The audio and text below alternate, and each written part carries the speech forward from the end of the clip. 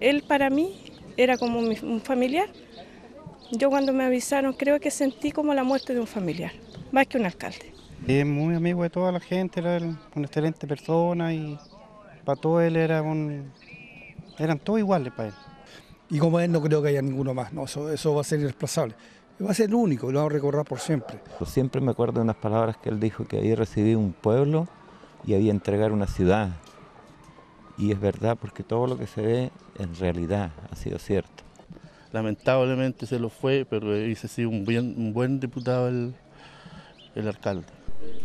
En Pinto aún no pueden creer la noticia. Incluso temprano este lunes algunos vecinos leían el diario para convencerse de la tragedia que enluta la comuna. El alcalde Fernando Chávez perdió la vida en este accidente, quien era muy querido por su gente y así lo hicieron notar en el velorio, quienes llenaron la parroquia Nuestra Señora del Tránsito, muestras masivas de cariño que la familia agradeció. Yo con gran satisfacción como mamá digo, el Señor me dio este premio, haber tenido un hijo maravilloso como él, que ha dejado un legado enorme. La gente me dice, nadie lo va a reemplazar. Y que me digan eso lo encuentro maravilloso, maravilloso. Yo quisiera que lo reemplazara alguien para que siguiera haciendo esta obra. Uno no dimensiona, como él no contaba, el nivel que él, que él tenía de entrega, ¿ya? Porque eh, claro, él contaba que iba a un lugar, que hacía esto, pero nunca contó los detalles de que la gente lo sentía como parte de la familia. O sea, él tenía familias eh, paralelas en el sentido de que lo, acogieron. Muchas personas mayores dicen, perdimos un padre. Entonces a mí me asombra cómo se sentía. De verdad que estoy súper agradecida.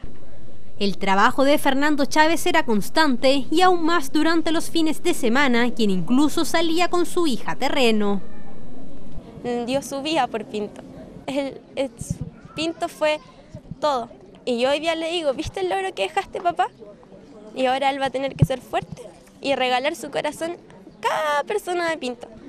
Porque cada persona lo vio crecer, porque mi papá nació, vivió y murió en Pinto, como él quería, murió haciendo lo que le gustaba. Militante de la UDI en su segundo periodo salió electo con más del 80% de los votos, ese era Fernando Chávez, un hombre que lo definen como transversal y que no hacía distinción por el color político. Eh, una de las características de Fernando que él podría establecer eh, eh, relaciones con personas que a lo mejor pensaban muy distinto a él, él fue siempre capaz de generar los espacios y las instancias para trabajar en equipo. Y es por eso los resultados electorales que él tuvo en la comuna de Pinto que lo llevaron a ser una de las primeras mayorías nacionales. Este era un hombre que se merecía el respeto de toda la gente, con una cualidad enorme, con una capacidad enorme de trabajar.